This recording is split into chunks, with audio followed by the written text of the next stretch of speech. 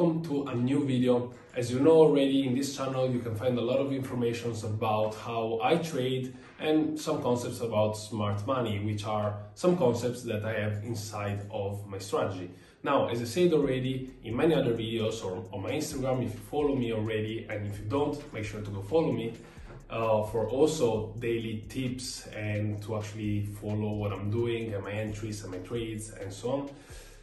As I say many times, uh, smart money is a great tool. It has some great concepts, but in my opinion, it is not something that makes you profitable. As you know, right now, it is very, very popular. A lot of traders are using smart money, including myself, keep in mind.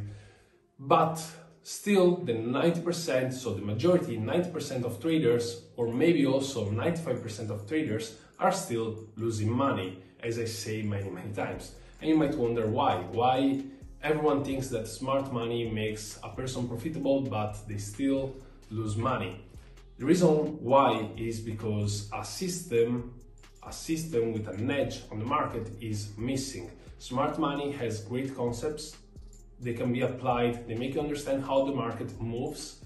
But if you don't have a system that is proven to work over time and is proven to give you that extra edge in the market, then it is not enough to actually be profitable. Of course, mindset and psychology plays a, huge role and you might argue that 90% of traders also lose because of that and I agree that it plays a role in inside of the overall 90% of traders but this is not the only thing keep in mind that uh, smart money needs to be context contextualized inside of your strategy. With that being said, I hope that you like this video. Make, make sure to subscribe because I will drop one or two free videos with free education here on my YouTube every single week. And if you want to join my course for some extra education and to actually learn how I trade and to follow my setups and my entries, then the links are here below. I'll see you in the, in the video. Okay. I had the supply too, as you can see. So supply, and we are at a bigger supply here. But what is the direction? Higher highs, higher lows, higher highs, higher lows. I have this supply.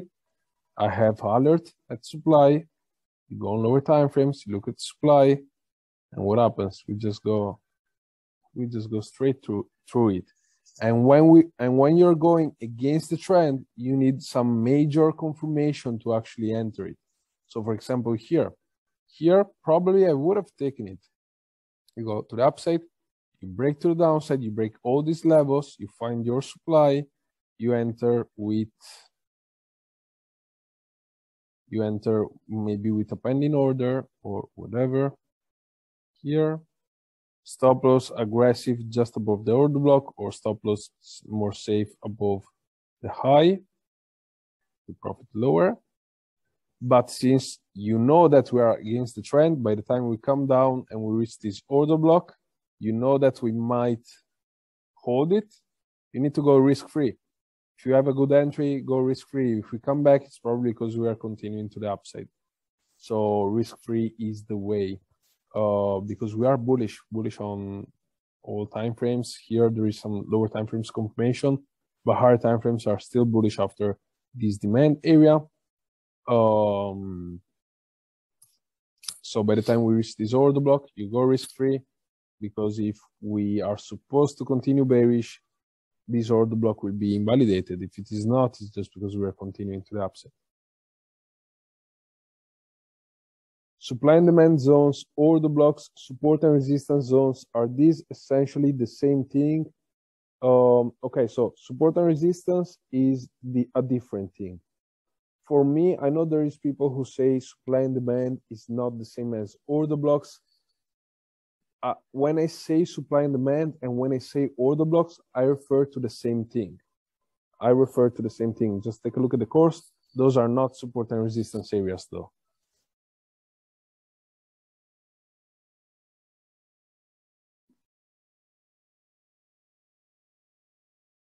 So a premium or discount area is any area above or below the 0.5 of Fibs, meaning if you hit a supply or demand area above or below, it could be valid to sell or buy.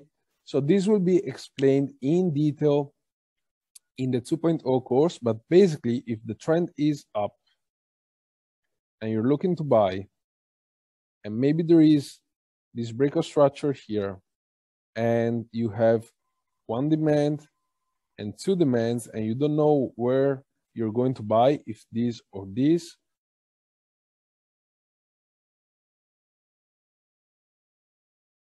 you put your 0.5 and this is discounted. So you already eliminate the first one and you know that you will be looking at the second one. Same thing, vice versa. Oh, wait.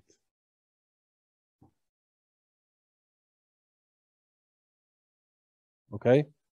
If there is a supply here, you won't use that. You will look at the higher one.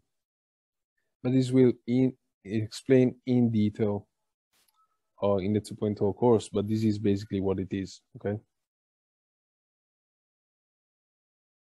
How do you know if the market is just retracing to a zone, for example, uh, or or making a reversal? You don't. You need to execute the plan, and that's it. So I understand what you're saying. So let's say you have this supply. You have this supply area, and we are going to the upside at the moment. We are retracing to the upside to this supply. Why is my computer going slow? I need to use the other computer for, for next time. So, damn, very slow actually. Anyway, we're going to the upside and this is your last demand. And let's say this is the one hour. And on the five minutes right here, on the five minutes or three minutes or one minute, you have your schematic for manipulation, reversal, for a continuation to the downside. Okay, and we actually do continue to the downside.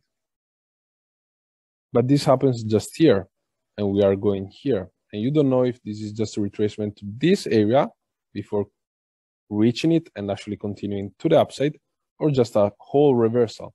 So first of all, most importantly, you need to check that overall we are bearish and that this is a and that we are at a key area. So that's already one thing.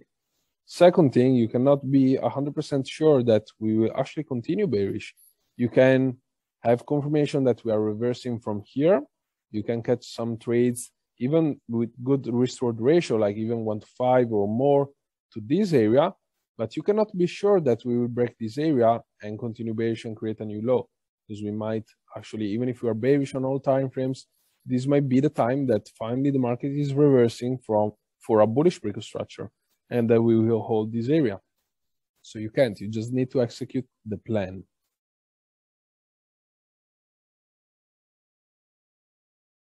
If price went above or below the order block, do I forget about the trade or still consider it a spring? If it goes above or below, that order block becomes invalid for me, but I might still trade if there is an order block higher, like today again here was the order block. This order block becomes invalid because we go above it, but above it there is another order block, and if there is confirmation, we can short it from there. Make sense? So you don't consider you don't consider it a spring of this order block. You just consider it uh, a mitigation of the high or the block to continue to the downside.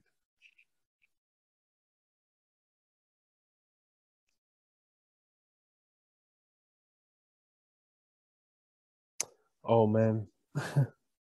Before you say that manipulation is the same as spring, including manipulation inside an order block. But you say that there is no liquidity in an order block, so which one should we use? These two things are two completely different things. There is manipulation, or if you want to call it uh, spring, or if you want to call it U UTAD or whatever, there is manipulation inside the order block. This doesn't mean that there is liquidity inside the order block. Manipulation is because we get inside the order block and maybe on lower time frames inside the order block, we create liquidity. So maybe we create equal highs and then we have a spring, but this is a grab of liquidity of the equal highs. It's not a grab of liquidity of the order block.